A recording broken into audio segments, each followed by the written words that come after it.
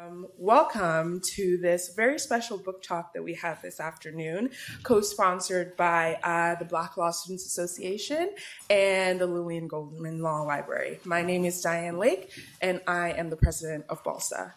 Uh, for this afternoon's book talk, we have Professor Stephen L. Carter, class of 79, and Leah Carter, class of 2012, discussing their new book, Invisible, The Forgotten Story of the Black Woman Lawyer Who Took Down America's Most Powerful Mobster.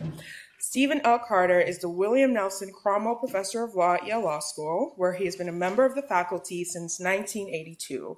Among his most recent courses are Contracts, Evidence, Law and Religion, The Ethics of War, Slavery and the Law, and Libertarian Legal Theory. Uh, Professor Carter is the author of numerous books and novels and has also been the columnist on the Daily Beast, Bloomberg, among others. Professor Carter is a graduate of Stanford University and Yale Law School. He served as a law clerk for Justice Thurgood Marshall at the United States Supreme Court and earlier for Judge Spotswood Robinson on the United States Courts of Appeal for the District of Columbia Circuit. Leah Aird Carter is a researcher and former lawyer. She holds a JD from Yale Law School, where she was an editor on the Journal of Law and Feminism, a research assistant for Professor Claire Priest, and a Coker Fellow for Professor James Forman Small Group. Leah spent four years as a litigator at Paul Weiss, Rifkind, Wharton, and Garrison LLP, and then left to work on Invisible. Please give a round of applause for Leah and Stephen Carter. Uh, well, thank you for that very kind introduction. It's a great pleasure for both of us uh, to be here. I want to thank both the Black Law Student Association uh, and the Lillian Goldman Law Library for arranging uh, this talk. We'll, we're going to try to be brief to allow as much time as possible for questions. Um, I should explain the, the, reason we're both here is that although my name uh, appears on the cover, that uh, Leah, my daughter, was indispensable. Indeed, was the principal researcher uh, on the project, the one who went around visiting distant archives and cataloging letters, um, co- tracking down people to interview and, and, and so on. And there are many parts of the story, although she denies this, that I think she knows better than I do. Um, especially some parts of history that didn't make it into the book that I'm sure will make it into the uh, our conversation. We're going to try, the two of us, not to talk for too long um, because we would like to hear what you have to say and answer questions um, uh, and, and so on. Um, but before we begin, or, or, the two, I should say, to begin, uh, I, I, want to set the scene uh, for the part of the book that's captured in the subtitle, The Black Woman Who Took Down America's Most Powerful Mobster. Um, you have to uh, envision New York in the early 1930s, New York City, which was largely run uh, by the mob, although the mob at that time really encompassed several different uh, ethnic gangs, uh, white and black. Uh, there were black gangs running large chunks of Harlem, which was by far the most lucrative mob property because it was the place where the numbers game was most popular and the numbers game was an enormous source of profit uh, to the mob.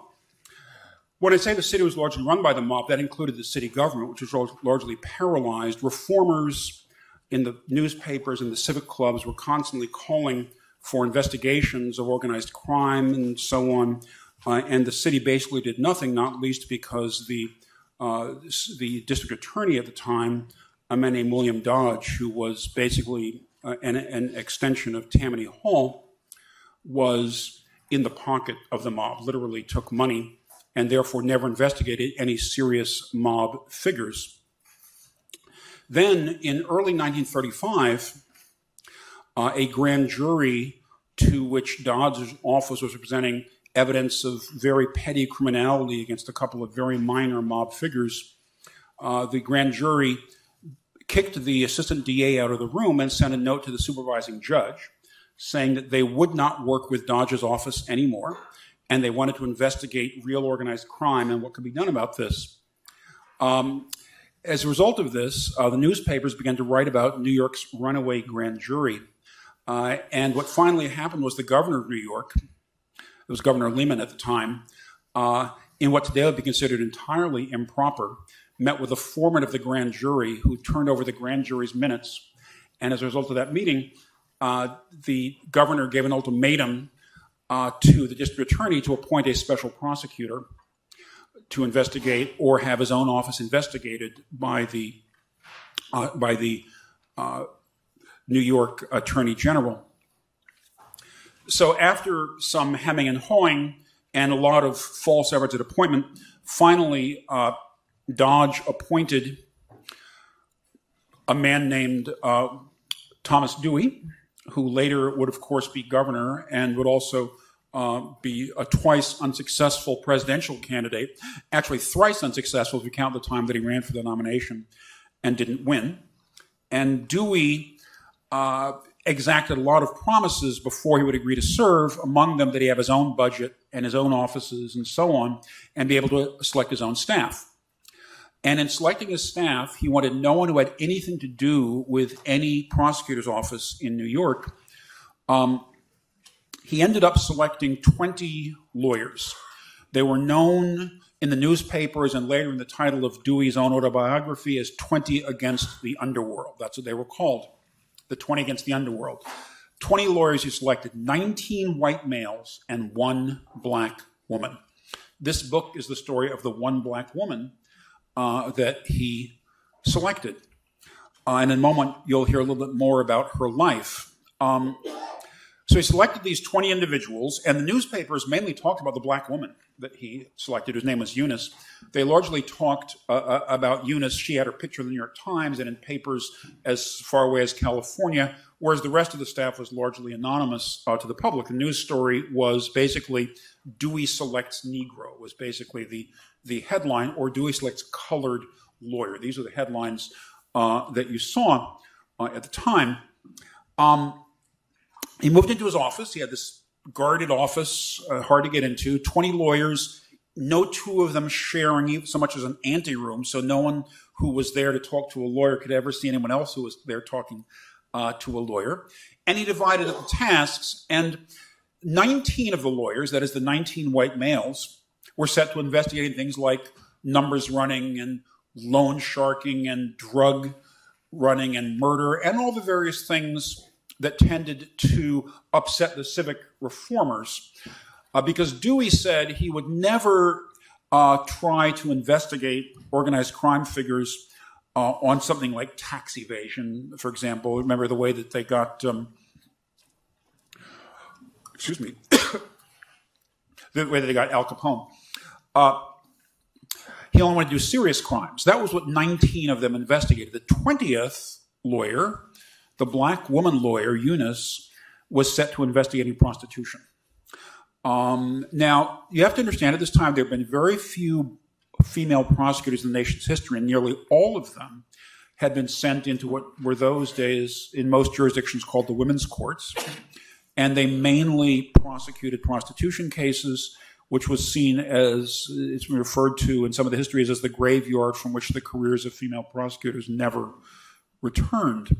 Well, she wasn't set to prosecute prosecution cases. She was set to listen to public complaints because when Dewey gave a speech on the radio inviting the public to come and talk about uh, prosecution, uh, uh about what bothered them, uh, what they wanted investigated, overwhelmingly they said prostitution. There were letters that came in that pe- there were people who came in uninvited off the street, and overwhelmingly they wanted to talk to them about prostitution in their neighborhood.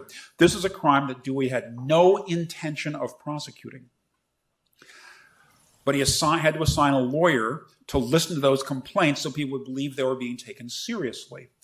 And that lawyer was Eunice, the one black woman. So the white, 19 white men were all doing loan sharking and drug running and so on, and she was investigating prostitution. The irony was without going into too much detail now, we can talk more about it in the Q and A. The irony was that those um, 19 white males never turned up a prosecutable crime against Lucky Luciano. At the time, was the head of the mob and the most powerful mobster uh, in the country, as well as, as some of you know, the one who created the modern. Uh, uh, the modern mafia. Many of the things that Luciano did are attributed to Don Corleone in the novel version of uh, of The Godfather and building the modern uh, the modern mafia, the five families, the commission, all that is stuff that um, uh, that Luciano uh, came up with. Uh, the only one who ever came with a prosecutable crime was Eunice. Uh, Eunice was able to prove, at least to the satisfaction of those in the office, Luciano's connection to prostitution. At first, when she tried to make her argument, um, Dewey was skeptical. Uh, but eventually, when she kept turning up evidence, and all of the other 19 white male lawyers who were looking for evidence of other crimes couldn't connect him to them because there were too many layers of insulation, uh, she was able to make the case uh, that the mob was involved in the prostitution business because the mob taxed prostitution, took money from it, and that sitting at the top of the sitting at the top of the mob of those who were taking money from it was uh, was Lucky uh, Luciano. Uh, finally, uh, Luciano was indicted on those charges and on nothing else. He actually fled the jurisdiction, but he was arrested in um, uh, in Hot Springs, Arkansas, after he offered a fifty thousand dollar bribe to the Attorney General of Arkansas to let him go, but the bribe was uh, was turned down apparently as uh, the, the, attorney general supposedly said to him under the circumstances that he couldn't accept um, uh, the money.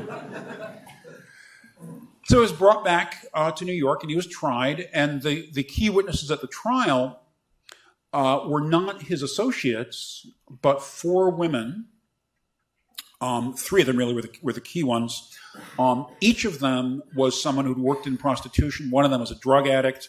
They were women who testified basically to overhearing conversations between Eunice and, and I'm sorry, between Luciano and his associates uh, involving uh, prostitution. Now, the thing you have to understand is that when it came time to try the case, that Eunice had developed the theory, collected the evidence, interviewed the women, and drawn all the connections, including all the charts of how the business actually worked in New York. But when it came time to try the case, uh, Dewey chose as his co-counsels in the case three white men not um, uh, not uh, Eunice. She did have an interesting involvement in the case, namely that she was charged with taking care of the women who were going to testify, uh, finding them secure places to stay with police guards and so on uh, and so on. I'm not going to go into detail about the trial now. We can talk about it in the Q and A uh, if you want to. But Luciano was convicted, and it was the only crime which he was ever convicted was the crime in which Eunice had come up with a legal theory and had developed all the evidence, interviewed all the women, and basically uh, provided the case to Dewey, if not on a silver platter, uh, certainly in lots and lots of, of folders. Um, and we, we have more to say about Eunice and more to say about her life after the trial in a moment, Leah is going to talk to you about her life before the trial. That is, who was this woman? The one I didn't mention, that some of you know already, that I should have mentioned perhaps, is that Eunice was uh, Leah's great grandmother and my grandmother. So Leah's going to talk to you about where this woman came from, the, what forces that produced her, and then we'll talk a little bit about after the trial and so on. And then we'll take your questions. So, I, first, I just want to say how cool it is to be back here and it's kind of surreal to be sitting on the side of 127. um, but yeah, so Eunice was my great grandmother, and before I started working on the book, I knew very little about her. I knew that she had been a prosecutor, uh, that she had been somehow involved with bringing down Lucky Luciano, and I knew that she was kind of a stern and intimidating grandmother. Um, but apparently she was. Uh, but uh, she actually, one of the things we learned in researching this is she kind of intimidated everyone, not just her grandkids. Um, but she actually came from a really fascinating family.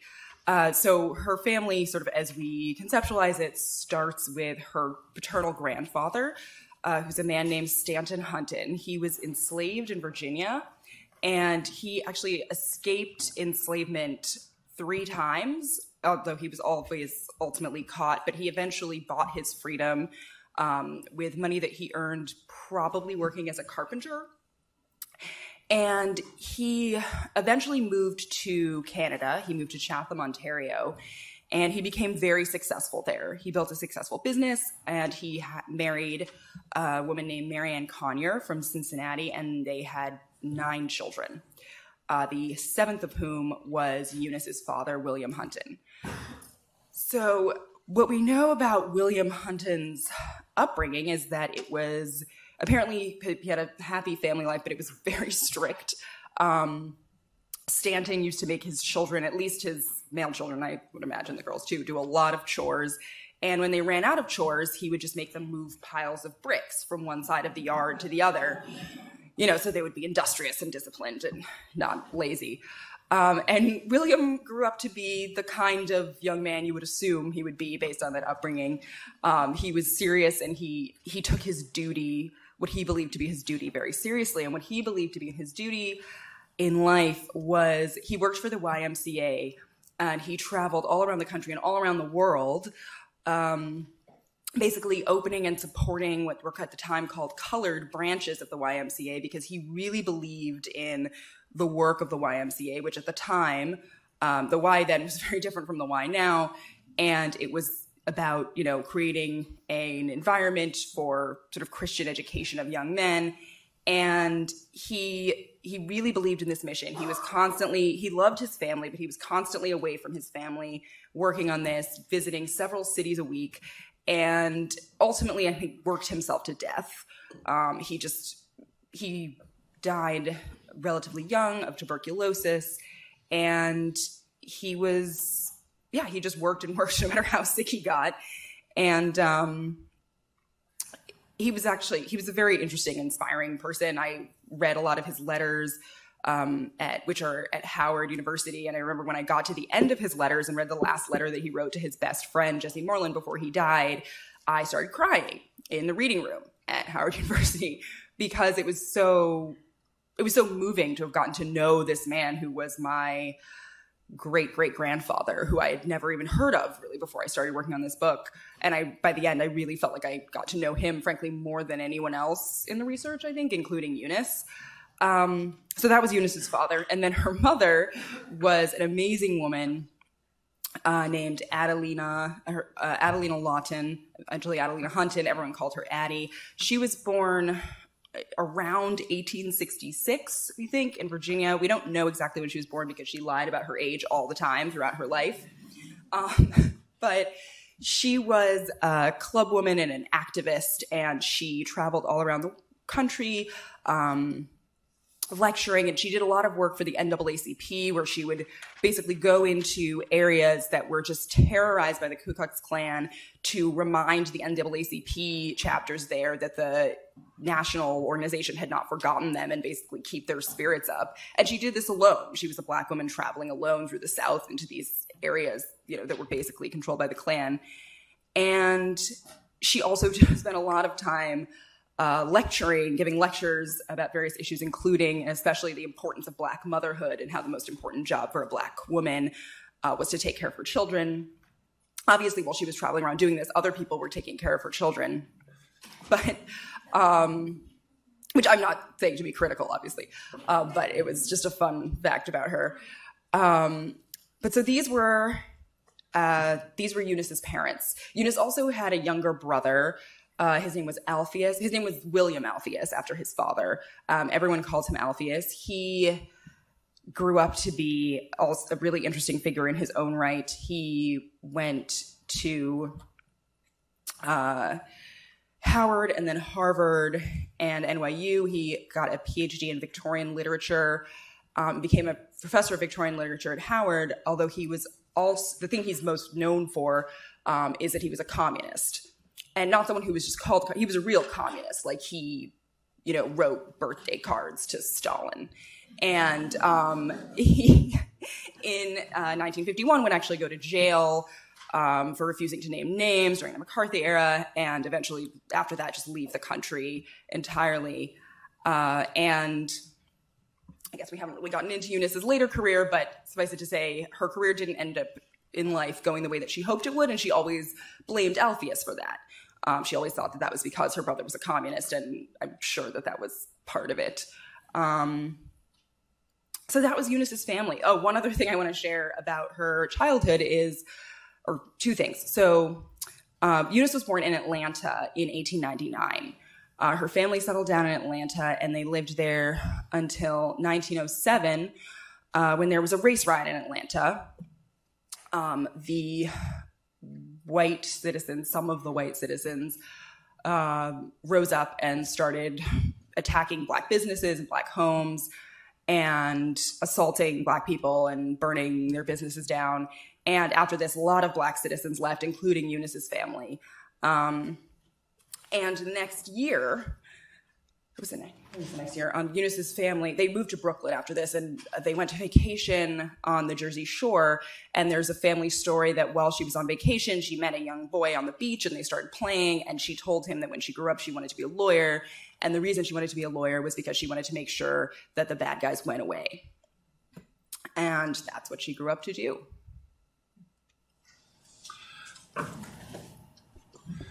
So um, I'm just going to say a few more words about Eunice's uh, later career, and then Leah's going to say some closing words. Then we'll take um, questions and comments that you have. But first, a comment about Eunice's earlier career. Um, Eunice, um, people always ask, she went to Smith College and she went to Fordham Law School. Now, it's quite striking. Uh, when she went to law school in the early 1930s, um, most of the what were in those days described as the big law schools, and maybe are described that way that today as well, um, did not admit women.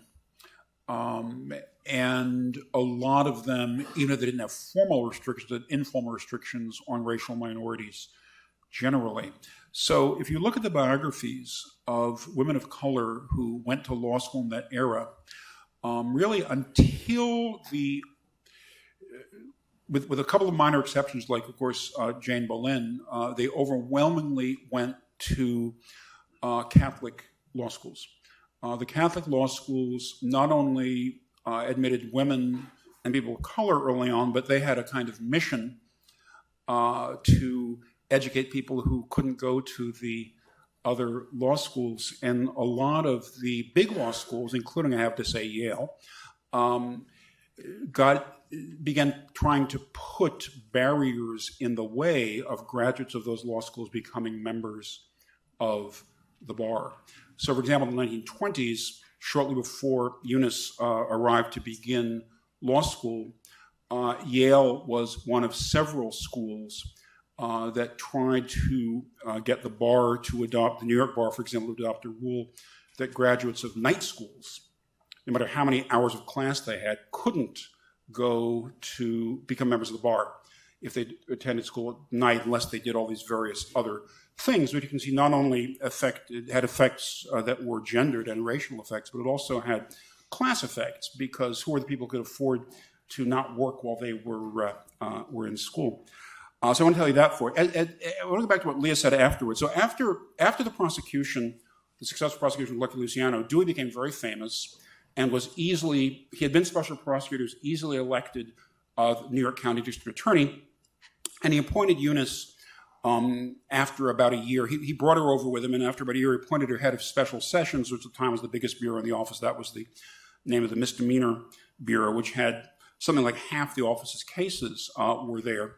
Now, Dewey subsequently ran for governor, and he also ran three times for president. And when he ran for president, when he ran for governor, uh, he ran with what at the time was the strongest civil rights plank up to that date that any uh, major party had ever used. And when he ran, uh, he would always talk about his non discriminatory hiring practice. He'd always point to, and the biggest bureau in my office is run by a black woman. He would, said this routinely on the stump.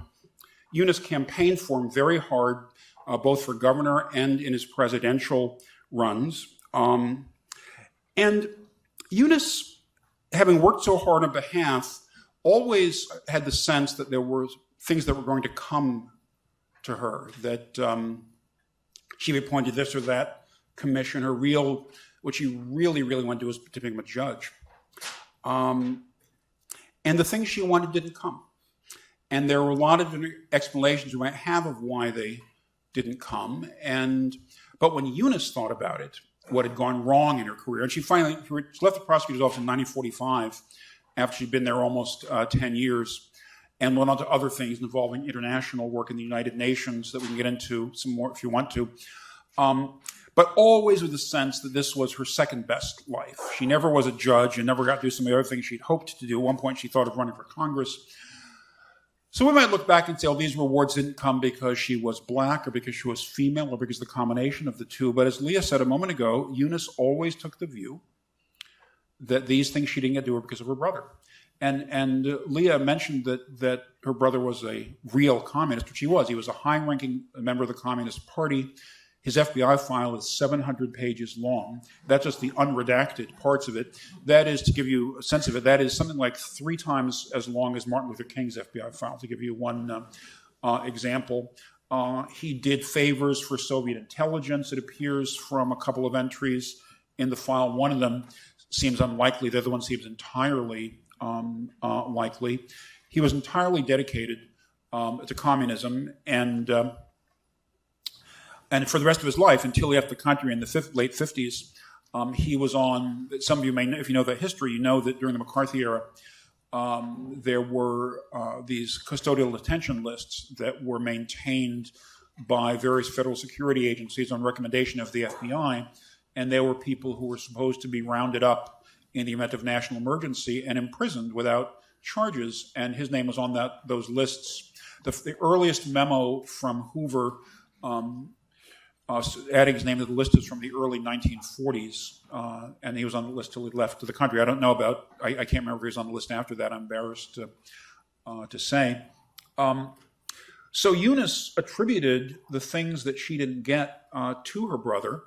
Uh, her brother uh, suffered greatly on the part, kind of what he believed. One of the reasons some of you know who are here know that I'm a a firm defender of free speech, especially in the academy. And Alphaeus, what happened to Alphaeus is a part of that because he was denied all sorts of positions on things he should have had simply because of what he believed and what he argued for. And I just think I, I very strongly view that that's absolutely wrong, but it was the era in which he lived, and people suffered for uh, basically uh, their uh, uh their opinions. Um, as Leah told you, he went to prison in 1951 for refusing to name names. Um, I don't know if you've taken a First Amendment course this, and, and, discussed the Dennis case. The Dennis case, as some of you know, uh, involved the trial of 11 leaders of the Communist Party, basically for being leaders of the Communist Party. Uh, and of course, they were uh, convicted. And uh, no one would pay their bail, and so there was a bail fund uh, to pay for to pay for them to be out on bail pending appeal. And, and the bail fund was uh, created by something called the Civil Rights Congress, which was a big left organization at the time. And there were three trustees of the bail fund. And one was the writer Dashiell Hammett, and one was um, Frederick Vanderbilt Field, who was the heir to both the Vanderbilt and the Field fortunes, but got disinherited um, because of his communist activities. Emma was Alphaeus Hunt. He was the third one. And when the leaders of the Communist Party, four of the 11 leaders of the Communist Party were convicted, skipped bail. And when they were skipped bail, when they skipped bail, uh, they were called before, the, the trustees were called before a federal judge and asked to name the people who uh, had given to the bail fund um, on the theory, it's not a ridiculous theory, that those people might know where these people were hiding. But but uh, they stood up for their principles. They believed deeply in the principle of anonymity in contributions. I, yes, I believe in that one too. And they um, they refused to answer. And so the U.S. attorney, the assistant U.S. attorney who was there, who was actually Roy Cohn, who some of you may have heard of in other connections, uh, asked the judge to send them to prison, which the judge happily did. And they so they went to prison for contempt of court for refusing to give the information about who contributed to the bail of the Communist Party leaders. When Alphaeus finally got out of prison, um, he basically had he had no work. There's no place he could work. He worked in a factory for a little while, but he finally left the country uh, in 1957 and uh, went to Africa. Um, and he um, he never came back. He, he, never came back. He first went went first to Ghana, to uh, take over the Encyclopedia Africana from Du Bois, who was ailing by then. Uh, and then after the coup, he went to uh, Zambia, where he lived the rest of his life. um, and never returned to the United States. Well, when he got out of prison in 1951, the story my father always told me was that he and his sister Eunice never spoke again.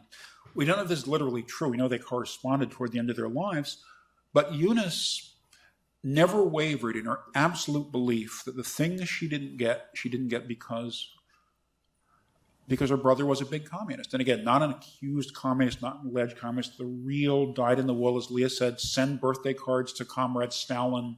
He would actually circulate these letters. Everybody, please sign this so we can congratulate Comrade Stalin on his birthday. Um, and there has to be some truth to that. Of course, there is truth. It has to be true that race got in the way. It has to be that gender got in the way. But there were black people, including black women, who were able to accomplish various things and even get some of the things she wanted. Once she thought she was going to be appointed to Dewey's cabinet in New York, and he put another black woman instead. Uh, Dewey and Hoover were friends. Um, as some of you know, um, well, they worked together anyway, if they're friends now, but they were they worked closely together on a variety of things. And it's hard to imagine that Hoover didn't say to Dewey on some occasion, you know, I know you think Eunice is great, but with her brother and your political ambitions, you appoint this woman to something, you're going to run into uh, uh, run into trouble. So I think it's fair to say that although toward the end of their lives, she and her brother corresponded, that she went to her grave believing that it was her brother's politics that had kept her from getting the things that she wanted, and she was absolutely furious um, about that. One last thing before I turn it back over to Leah, and then we'll take questions, which is Leah said that um, that my grandmother was very intimidating. It's, it's true. She died when I was in 10th grade, uh, but uh, my memories of her uh, largely uh, involved this stern, distant woman who was always correcting our grammar and correcting which fork we picked up in what uh, order, uh, and so on and so on. I was always mad at my mother. She felt for making us insufficiently polite in our uh, in our raising. Leah. Um, so yeah, I just have a couple of closing thoughts. Um, I first just wanted to share what an incredible opportunity it's been to work on this book, and thank you again for this. Thank you. know, letting me do research for you. It was so much fun. It was really cool. I mean, it's a really interesting story, even if this weren't my family. And having the opportunity to get to know my family in this way has just been so amazing. Um, I was actually going to share the story about crying in the Howard Archives now, but obviously I shared it already. Um, but yeah, it's just been really amazing, and I think it's really important. I think it's important to tell stories like this. Um, I think. Uh, I don't know what all of your educations were like, but I know when I was growing up, the sort of black history that I got was a little bit thin, and there was certainly not a lot of. It, there was very much a sense that like nobody black ever did anything until Martin Luther King came along, and then he did something with marching and buses, and but like I think, yeah, it's really important to tell these stories um, and to tell stories that remind us that you know black people were doing things and being movers and shakers for a long time. Um, it's certainly really important to me. And yeah, I just wanted to share that. I look forward to hearing your questions and anything else you guys have to share. Thank you.